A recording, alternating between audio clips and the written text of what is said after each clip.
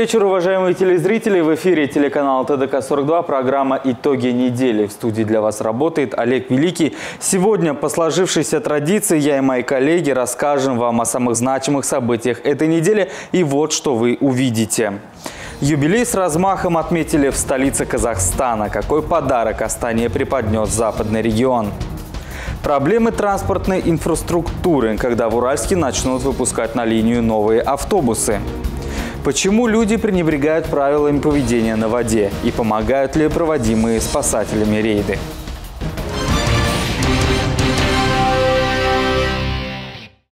Столица наша Астана – современный город, который привлекателен для туристов и комфортен для проживания жителей и гостей с благоприятной окружающей средой. Этот город еще совсем молодой, можно сказать, даже юный. На этой неделе Астане исполнилось всего-то 20 лет. То есть столицей Казахстана этот город стал в 1998 году. За это время город очень изменился. Астана продолжает развиваться, население города увеличивается, появляются новые многоэтажные современные кварталы строятся самые современные здания, которые поражают своей архитектурой. Гости из других стран, приезжая в Астану, открывают рты от удивления. Сейчас это город будущего, город мечты. Астана сегодня уже многонациональный город-миллионник. Почему же Астана именно стала столицей Казахстана? Ну, во-первых, она более безопасна в плане землетрясений, чем старая столица Алматы, не так перегружена автомобилями. К тому же там можно развернуть масштабное строительство, чего не сделать в предгорной Алматы. Как я уже говорил, на этой неделе мы отпраздновали 20-летие Астаны, а в преддверии этой знаменательной даты наша западно-казахстанская область подарила столице сквер и памятник герою Советского Союза Маншук Мамед. Ахметовой. Глава государства лично возложил цветы к этому памятнику. На территории сквера расположены также скульптура, фонтан, амфитеатр на 100 мест, ландшафтная инсталляция, волшебный лабиринт, тематические площадки, баскетбольная и беговая площадки. Давайте посмотрим на эту красоту. Западно-Казахстанская область подарила столице такой прекрасный сквер. Здесь есть амфитеатр, детская площадка, место для чтения и красивый памятник, где Маншук Маметова выглядит молодой и красивой. Астана принимает подарки. До дня рождения столицы еще два дня, а ЗКО уже вручили столице крупный презент. В качестве получателя выступил сам президент страны. Глава государства возложил цветы к памятнику легендарной пулеметчицы. Подарок ЗКО особенно понравился малышам и их родителям. Спасибо Западно-Казахстанской области. Огромное большое спасибо. Мы очень рады, что такой подарок они нам сделали. Нам очень нравится то, что, выходя из садика, э, Теперь мы можем далеко никуда не ехать, сразу же перейти дорогу и поиграться здесь.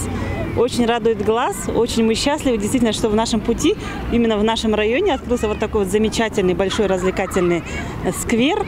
А это сестра Маншук, которой очень понравилась скульптура. Первая казахская женщина, которой было присвоено звание Героя Советского Союза, родилась в Западно-Казахстанской области. Какой э, памятник вышел, какой вот излияние, это в бронзе. Она стоит спокойная, задумчивая, на лице у нее нету никакой, э, никакого волнения, и только думает она о том, быть, быть или не быть. Настоящим именем Маншук было Мансия. В детстве ее называли ласкательно Моншаком, но так как Маншук была маленькой, то не могла выговорить слово Моншак, и у нее получалось лишь Маншук. Она рано стала сиротой, а дядю, который ее воспитывал, расстреляли во время репрессий. И самое главное, здесь, учитывая, что здесь проспект Победы, в центре этого сквера мы решили поставить памятник герою Советского Союза, герою нашей э, Родины Маншук Маметовой. И, чтобы, и это не случайно, что Маншук – это э, героиня всего казахского народа, э, и чтобы памятник стоял именно в центре столицы, чтобы молодое поколение могло гордиться своими предками и э, помнить о тех славных героических подвигах э, нашего старшего поколения. На войне она познакомилась со своей любовью, пулеметчиком Нуркеном. Возможно, благодаря ему Маншук освоила пулемет. В одном из боев замолчал один Максим, затем затих другой. Маншук поняла, что сослуживцы убиты. Тогда девушка принялась стрелять из трех пулеметов поочередно. Она стреляла даже когда осколок ранил голову. Она могла бы жить, да? У нее могли быть какие-то свои э, в будущем планы, да, Э, она могла бы испытать чисто семейное, женского счастья. Но все это, как говорится, оборвала э, война, и поэтому мы ее решили оставить в образе все-таки молодой девушки, такой задумчивой. Она нелегкая у нее судьба была. Ну, а такие аксессуары, как одежда, зимняя шапка, ну, потому что она погибла именно зимой. Сослуживцы рассказывали, что отступая, хотели забрать с собой раненую Маметову, но пулеметчица возразила, если перестану стрелять, вы не уйдете живыми. В тот день погиб и ее возлюбленный. Бауржан Шаяхмед, Ахмедяр Ильясов, телеканал ТДК-42 из Астаны. Премьер-министр Казахстана Бахаджан Сагентаев высказал недовольство деятельностью АО «Казавтожол». Он заявил, что глава «Казавтожол» Ермек Кезатов рассказывает не о работе нацкомпании, а о деятельности местных исполнительных органов. Вот что ему не понравилось. Сагентаев сказал, что большая часть объектов придорожного сервиса не соответствует требованиям национального стандарта и не способна полноценно обеспечить услугами как международные транзитные перевозки, так и внутренний спрос. Согласно национальному стандарту придорожного сервиса, все объекты придорожного сервиса делятся на четыре категории по уровню комфортности. Минимальные требования – теплый туалет, автозаправочная станция, розничный магазин и возможность обогрева. Максимальные включают возможность получения медпомощи или услуг СТО, наличие гостиничных номеров, банкоматов и даже общественный душ. В 2015 году сообщалось, что три четверти объектов придорожного сервиса в Казахстане не соответствуют стандартам и к развитию будет привлекаться частный бизнес. А в ноябре 2017 года в Министерстве по инвестициям и развитию заявили, что на самых востребованных дорогах приведут в порядок уже существующие объекты придорожного сервиса, а также установят типовые дорожные павильоны. Кстати, национальный стандарт вступил в силу уже с 1 июля текущего года. Планы Кабмина по строительству и реконструкции автодорожной сети могут упереться в полное отсутствие соответствующей международным стандартам придорожной инфраструктуры. Есть комплексы, где пассажиры могут посетить пункты общественного питания, купить кое-что по мелочи и немного расслабиться после нескольких часов неподвижного сидения в креслах автобуса. Но уровень кулинарных изысков придорожных кафе находится, мягко говоря, на нуле, а их санитарное состояние не выдерживает никакой критики. Пассажиры моментально делятся на тех, кто сознательно рискует своим здоровьем, и тех, кто решает не рисковать. А чиновники до сих пор говорят о теплых туалетах и рекламе. осындай ақ жылы санитарлық тораптар мен казбе сервистік 70 модульдік павильондар орнату қажет По оценке Казахстанской ассоциации автомобильных перевозчиков необходимо строительство 40 многофункциональных комплексов. Вместе с тем нужно установить еще 70 павильонов сервиса Казвей с теплыми благоустроенными санитарными узлами. Первые такие объекты установлены на автодороге Астана-Щучинск. В планах Казавтожола размещение информации о павильонах в сетях Транспарк, а также Google и Яндекс. Имеющиеся вдоль дороги комплексы возникли в начале 90-х на месте таких же комплексов советского типа. Причем после распада Союза они практически забыли забыли про то, что такое санитарный контроль. В 90-е годы созданием придорожной инфраструктуры занялся частный бизнес. Первые кафешки и СТО у дорог отвечали лишь минимальным требованиям. В Европе же давно приняты стандарты, согласно которым водители большегрузных авто не могут находиться за рулем более 4 часов без перерыва. Поэтому наличие в развитых странах мира придорожного сервиса высокого качества не прихоть, а необходимость. Причем сервис должен отвечать международным стандартам. Типовые комплексы придорожного сервиса не соответствуют стандартам двухгодичной давности, то есть в течение двух лет каждая область действовала самостоятельно. У вас одно понятие, требование бизнеса другое. Что вы делали в течение двух лет? Пока вы завершите, все области по своему пониманию отстроят. Вдоль дороги уже нет пустых мест. То есть вы говорите не о своей работе, а о работе, проведенной Акимами. Согласно плану, они не соответствуют типовым павильонам придорожных комплексах водители должны отдохнуть или остаться на ночлег. Дальнобойщики, проезжая по территории Казахстана, о полноценном отдыхе или сне даже не мечтают. Озвученные проблемы резко снижают привлекательность страны как международного транспортного узла. В условиях отсутствия качественной придорожной инфраструктуры по нашим дорогам никто не поедет или вообще объедут Казахстан стороной. Заявленные планы по развитию проекта автодороги Западная Европа, Западный Китай могут оказаться под угрозой срыва. Бауыржан Шаяхмет, Ахмедяр Ильясов, телеканал ТДК-42 из Астаны. Социальные проблемы сельского населения в современных условиях развития общества приобретают большую актуальность. На сегодняшний день социально-культурное развитие села связано с особенностями и спецификой сельского образа жизни и с необходимостью развития социальной инфраструктуры села. Говоря простыми словами, проблемы сельского населения занимают одно из важнейших мест в исследованиях социологов, экономистов, политологов, философов. А проблем, как известно, много, особенно в отдаленных отдаленных округах. С одной стороны, жить в поселке хорошо, чистый воздух, природа, но когда в селе нет воды, газа и других благ цивилизации, когда один магазин на весь поселок, а полуразваленная школа, а о детском садике не может быть и речи, это, конечно, уже другой вопрос. Хотя есть, конечно, исключения. Например, село Шабдаржаб в Тайпакском сельском округе. От областного центра оно расположено примерно в 300 километрах. Казалось бы, далеко, но жизнь там в вполне современная. Много молодежи, в основном люди занимаются животноводством, берут кредиты и открывают свое дело. А еще совсем скоро там откроют новую школу. Вместо аварийной постройки 50-х годов прошлого века в селе Шабдаржаб возвели новое здание почти на 200 учащихся. С ходом работы ознакомился Аким области Алтай Кульгинов и мои коллеги. Сегодня в селе Шабдаржаб Тайпакского сельского округа проживает 745 человек. В прошлом году стены школы покинули 154 ученика. В учебном заведении работает 31 педагог. Действует библиотека. До недавнего времени ученикам приходилось заниматься в старом аварийном здании. Строительство новой школы в селе началось в августе прошлого года. Сегодня объект готовят к сдаче. Это здание более вместительное. Здесь предусмотрены отдельные учебные кабинеты. Здание осмотрел Аким области Алтай Кульгинов. Ему показали и кабинеты современных технологий. У нас 3000 э, квадратов э, э, на 198 учащих мест. Здесь внедрение новой технологии, кабинеты работа техники, стадион, все как по современному стандарту. Средства на строительство школы выделила компания «Карачаганак Петролиум Оперейтинг БВ». На средства республиканского бюджета запланировано строительство водопровода. Общая стоимость свыше 445 миллионов тенге. Программа э, по обеспечению питьевой воды здесь э, поставлена, вот, вот только начинается Багдерламаса. Э, заодно полное обеспечение газом. Надеюсь, что на следующем году, может быть, к 2020 году будет дорога асфальтированная. Стоит отметить, что местность граничит с Атраусской областью, поэтому с улучшением инфраструктуры район может рассчитывать на дальнейшее развитие. Марина Горбук, Ербулан Маншин, Рустам Джумашев, ТДК-42.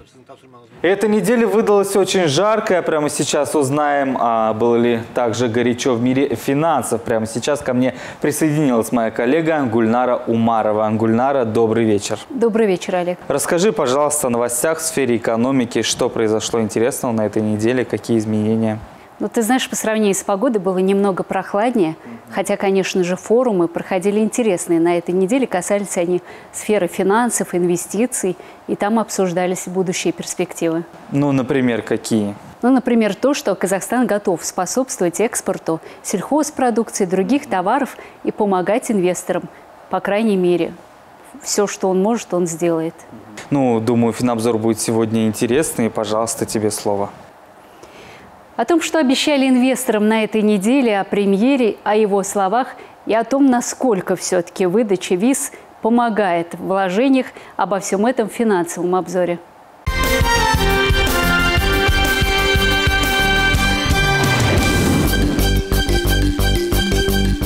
63 новых проекта на общую сумму 6,8 миллиарда долларов. Появятся они за счет инвестиций, которым готовы оказывать максимальную поддержку. Такое заявление сделал Сагентаев, и, по словам премьера, приток ожидается в новый сектор экономики. Это финансы, электронная торговля, IT-технологии и финтех – Помимо этого вложения ждут агропромышленный комплекс и пищевая промышленность. А еще поддержать Казахстан готов в производстве мяса и экспорте сельхозтоваров. В итоге мы можем составить конкуренцию таким, как Бразилия, Новая Зеландия и Канада, уверен Сагентаев. Между тем, проходивший в Астане круглый стол по глобальным инвестициям собрал более шести сотен руководителей крупных мировых компаний и казахстанского бизнеса, а также мировые эксперты, политики и для обсуждения обсуждении инвестиционного потенциала собрались 60 инвесторов из Турции, 43 из США, 37 из Германии, 60 из Великобритании, 49 из КНР и 28 из Франции, а также 30 из Российской Федерации, 74 из Арабских Эмиратов и многие другие. Обслуживать инвесторов будет Международный финансовый центр «Астана». И уже выдано порядка 250 виз для них. Также им будет дан статус инвестиционного резидентства. Прошла в эти дни международная финансовая конференция, а на повестке дня – зеленая экономика, глобальные финансы и рынки, а также исламская экономика. Заявку подали 150 спикеров из 40 государств мира. Это аналитики, лауреаты Нобелевской и Пулицеровской премий и многие другие. Международный финансовый центр Астана может стать эффективной площадкой для внедрения инструментов, механизмов и стандартов зеленого финансирования. Здесь в сфере Клинтек уже созданы и действуют центры компетенции зеленых финансов, а также Международный центр зеленых технологий и инвестиционных проектов под эгидой ООН. Еще одной особенностью финансовых услуг МФЦ является содействие развитию рынка исламского финансирования. Уже сейчас на базе МФЦ совместно с Азиатским банком развития и Исламским банком развития создана необходимая правовая и регуляторная среда. На неделе в Казахстане прошли новые изменения. Например, с 1 июля размер базовой пенсии увеличит на 67%. В январе вырос размер солидарных пенсий на 8%, а базовой – на 6%. Теперь новый метод начисления будет связан с трудовым стажем. Будет начисляться от 54 до 100% от прожиточного минимума. И согласно данным Минтруда, более 2 миллионов казахстанцев смогут получать повышенную пенсию. Половина из них получит базовую пенсию по максимальной ставке. То есть отныне размер базовой пенсии будет привязан к трудовому стажу и длительности участия в системе. Перерасчет будет произведен всем.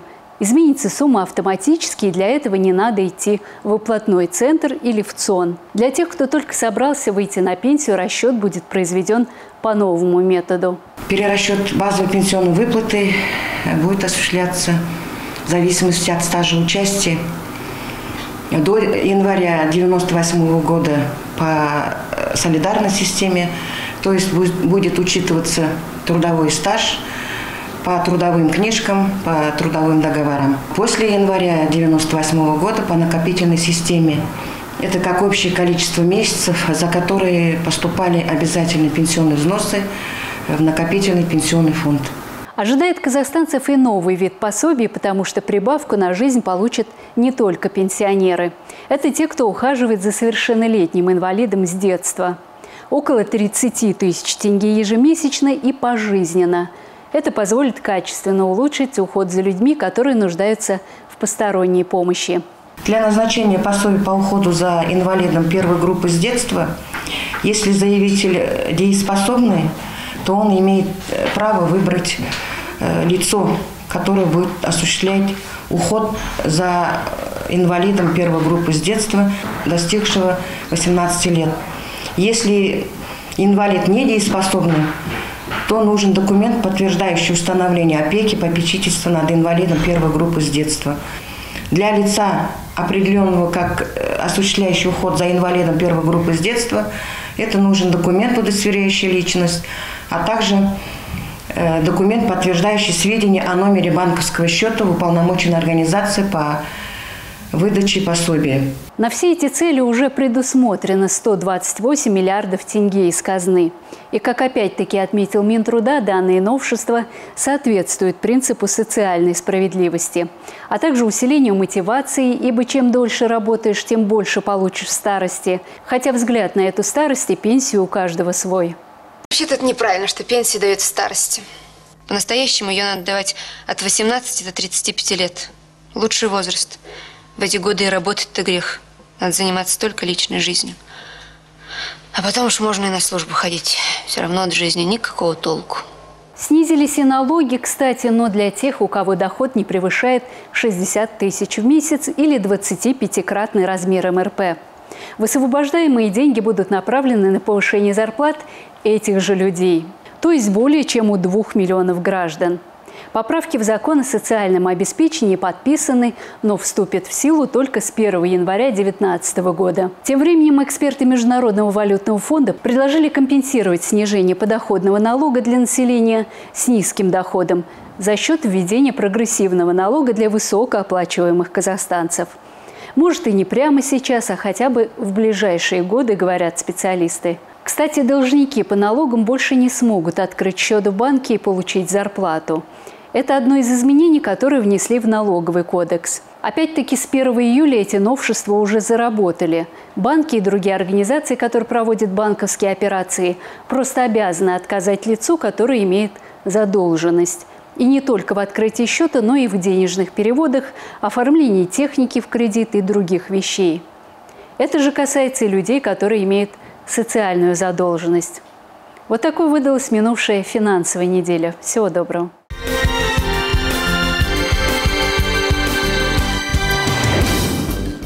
Говорить о транспорте – это все равно, что говорить о движении, от которого зависит эволюция человечества. На протяжении нескольких тысяч лет человек в своем развитии прошел этап от момента изобретения колеса до освоения Вселенной. И если сравнить древние потребности человечества в транспорте, то они ничтожны малы по сравнению с современными. Ни одно государство в мире в своем историческом развитии не обходилось и не обойдется без развитой транспортной инфраструктуры инфраструктуры. Одной из основных проблем городского общественного транспорта является сильная изношенность и недостаточные темпы обновления подвижного состава.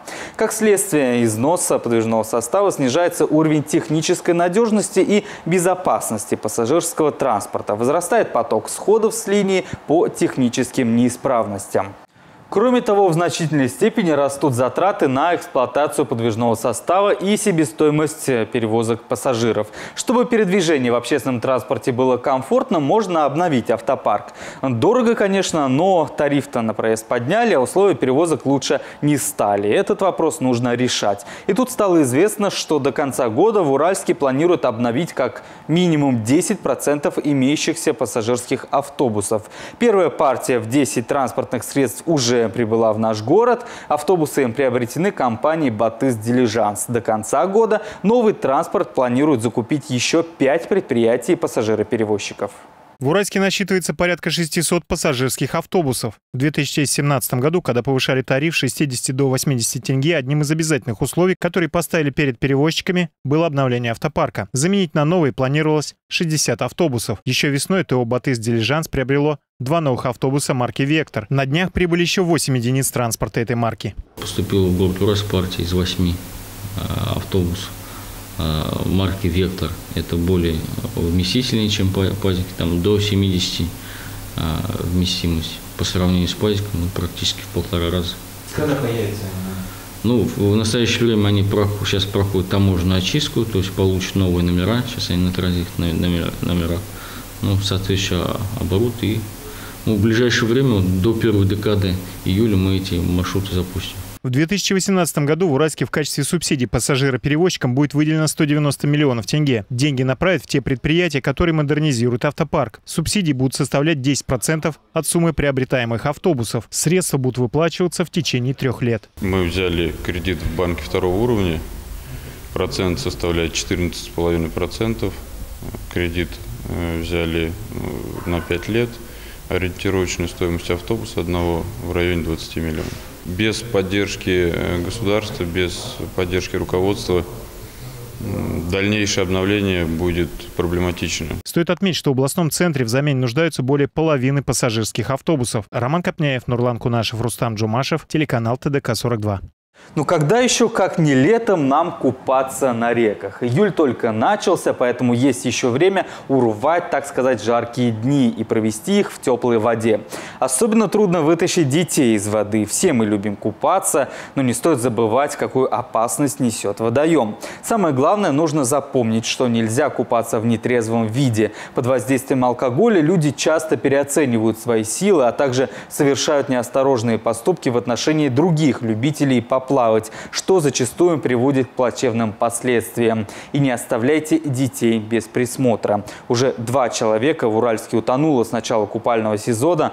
А об этом сообщают сотрудники областного департамента ЧС. Специалисты настоятельно рекомендуют не отдыхать на стихийных пляжах, либо строго соблюдать все правила поведения на воде. С целью контроля ситуации на побережье рек спасатели проводят рейды. В один из них отправились и наши корреспонденты. На смену прохладе в Уральске пришли жаркие знойные дни. В часы пик температура воздуха зашкаливает за 40 градусов. Вполне естественно, что люди в такую жару проводят время на реке. Оборудован пляж или нет, в эти минуты мало кого интересует. Да и выбор невелик. По словам сотрудников ЧС, всего три зоны в области отвечают правилам безопасности. Остальные считаются стихийными пляжами. Здесь-то и происходят несчастные случаи. Регистрируются они ежегодно. Причина следующая, то есть это дети оставлены без присмотра, которые прыгают в неустановленных местах, не соблюдают меры. Конечно, они балуются на воде, это дети. За ними нужен присмотр. Также люди, которые, находящиеся в алкогольном опьянении, распитие спиртных напитков на берегу, разгоряченные, они прыгают опять с тех же лодок, с тех же мест, которые они не знают.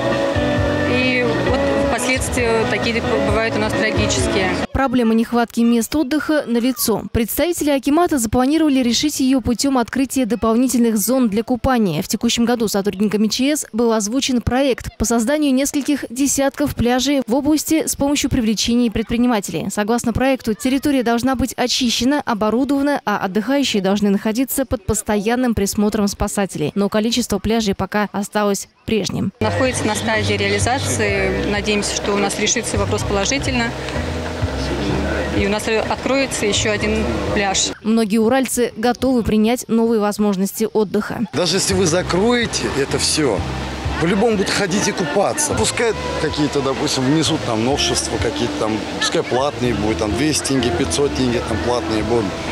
Ну, факт того, что мы, допустим, приехали, мы уже за детей не, без, ну, не переживаем, за наших детей. При этом не стоит забывать, что безопасность на воде в первую очередь зависит от самого человека. Поэтому спасатели настоятельно рекомендуют соблюдать элементарные правила поведения на воде. Не купаться в состоянии алкогольного опьянения, не заплывать далеко, прежде чем окунуться, проверять местность, не заходить в воду при плохом самочувствии и пользоваться спасательными средствами при неумении плавать. Марина Горбук, Ербула Маншин, Рустам Жумашев, ТДК-42. А сейчас поговорим о новостях в преступном мире, обо всех преступлениях, которые произошли в черте города и за его пределами, расскажет мой коллега Сергей Уланов в еженедельной рубрике «Криминальная хроника». Сергей, добрый вечер. Добрый вечер, Олег. Здравствуйте, уважаемые телезрители. Сергей, расскажи, что произошло на этой неделе? Можно ли отметить, что преступлений стало, может быть, меньше или, наоборот, больше? Далее, к сегодняшней криминальной хронике мы поговорим не только об уголовных правонарушениях, но и административных. Ну, например, какие? Что это? Ну, например, э, в специализированном межрайонном экономическом суде по Западно-Казахстанской области был удовлетворен иск одной из АЗС к одному из СМИ э, которая опубликовала статью, которая не соответствует действительности. Но обо всем подробнее, не только об этом, я расскажу прямо сейчас.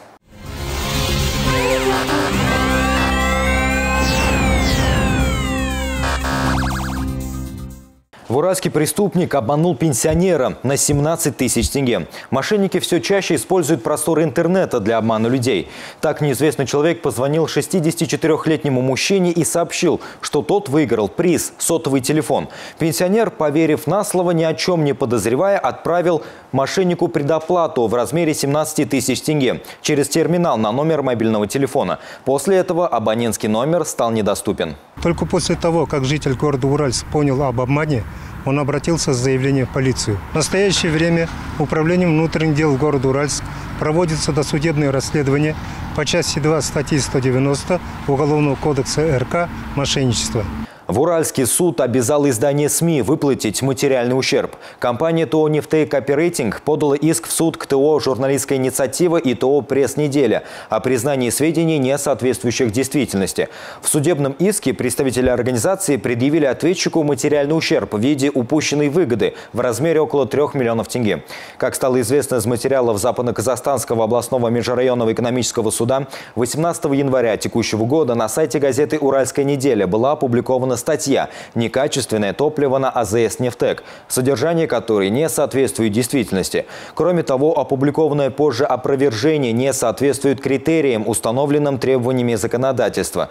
Истец посчитал, что после опубликования статьи его деловая репутация пострадала, снизилась реализация нефтепродуктов и сопутствующих товаров в сети АЗС. Решением специализированного межрайонного экономического суда по Западно-Казахстанской области иск был удовлетворен. Руководство статьей 223 ГБК суд решил. Иск ТО «Нефтек Оперейтинг», ТО «Журналистская инициатива», ТО «Пресс-неделя», Ахмедьярова о признании сведений, не соответствующих действительности, как порочащей деловую репутацию истца, об обязании ответчика опровергнуть данные сведения изыскании упущенной выгоды в размере 2 миллиона 939 тысяч 32 тенге удовлетворить, признать сведения, изложенные в заголовке статьи и в тексте статьи «Некачественное топливо на АЗС «Нефтек», опубликовано 18 января 2018 года, в разделе «Народные новости» сайта W Уральский КЗ, газеты «Уральская неделя», не соответствующими действительности, как порочащие деловую репутацию истца. Обязательно журналистская инициатива ТО «Пресс-неделя» Ахмедьярова опубликовать опровержение несоответствующих действительности сведений в разделе «Народные новости» сайта www Уральский КЗ. В Западно-Казахстанской области утонул 57-летний мужчина. Об этом сообщили в департаменте ПЧС. Трагедия произошла на озере возле поселка Серебрякова. Сотрудники экстренных служб просят уральцев купаться только в отведенных для этого местах. Ни в коем случае нельзя заходить в воду, находясь в состоянии алкогольного опьянения. 30 июня текущего года э, в оперативную дежурную службу департамента ПЧС поступило сообщение о том, что 29 июня текущего года э, ушел пасти овец гражданин нашей области и не вернулся. Э, на поиски данного гражданина были привлечены силы оперативно-спасательного отряда.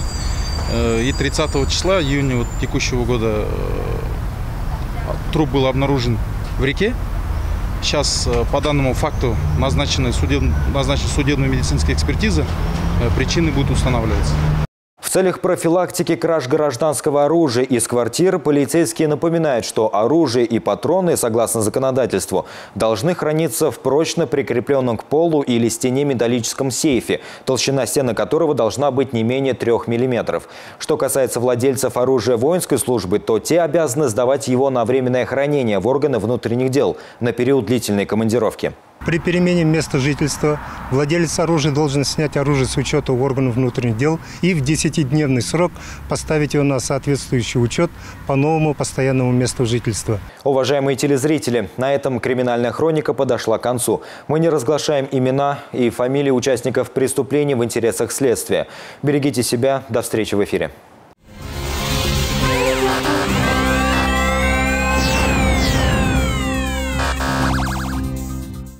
Мой коллега минуту назад понарассказывал вам всяких страшилок. Давайте отвлечемся и поговорим о положительных новостях. Например, о новом празднике, который появился в Казахстане. Это Национальный день Дамбры, утвержденный президентом. Он станет ежегодным, а праздноваться будет в первое воскресенье июля. Дамбра знаменует собой духовное возрождение, национальную культуру и символ народа. О том, как впервые праздник отметили в Западном Казахстане, расскажет наш корреспондент. Знаменитых и любимых народом домбристов подарила Приуралье. Это Дина Нурпиисова, Курмагазы, Сейтек и многие другие. Все они стали основателями музыкальной культуры, память о которых не должна угаснуть. У памятника Дине Курмагазы в Уральске состоялось первое из ряда мероприятий, посвященных Национальному дню Домбры. Затем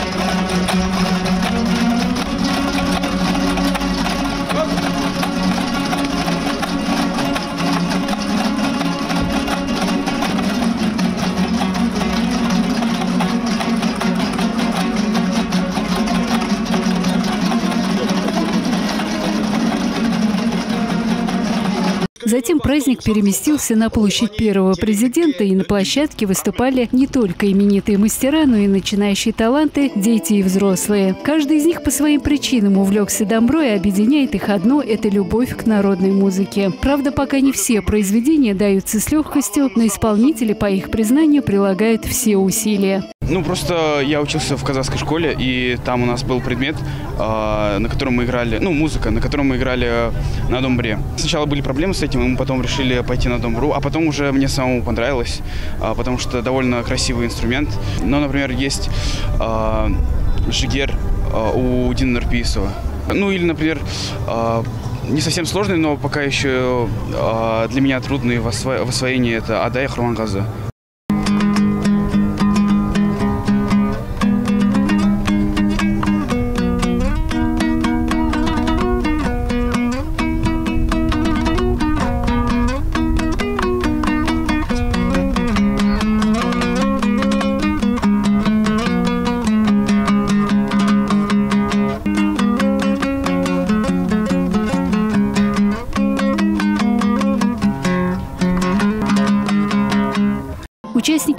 Мероприятия говорят, что наконец-то самый любимый и национальный инструмент получил свое особое место. В календаре праздников Домбра впервые, а в душах народов целую вечность. Мы много лет ждали этого дня, и вот он наступил. Весь народ рад этому. Домбра – это летопись казахов. Это вечный инструмент и наше сокровище. Как никакой другой инструмент передает всю суть, духовность народа. И для меня домбра – это суть жизни. Как отметил сегодня заместитель Акима области, Домбра – это отражение сути и духа народа. Мы должны гордиться этим, учить подрастающее поколение музыкальным ценностям. И, между прочим, еще четыре года назад ЮНЕСКО внес Домбру и произведения, которые на ней исполняются, в список нематериального культурного наследия человечества. Мы оставляем нашей молодежи и будущим поколениям огромное и важное наследие. Сегодня во всех школах звучат звуки домбры вместо обычных звонков на переменах. Это большая радость – праздновать отныне и всегда Национальный день добры. И мы верим, что молодежь впитает в себя культуру и традиции народа, выражаемые музыкой и через домбру. У нас есть независимость, развитая экономика. Все есть, остается только трудиться. И впереди еще новые достижения. Гульнар Умарова, Нурлан Кунашев, Рустам Джумашев, ТДК-42. Ну вот, это было все, о чем мы хотели вам рассказать. Такой эту неделю запомнили корреспонденты телеканала ТДК-42. Я с вами прощаюсь. Увидимся ровно через 7 дней.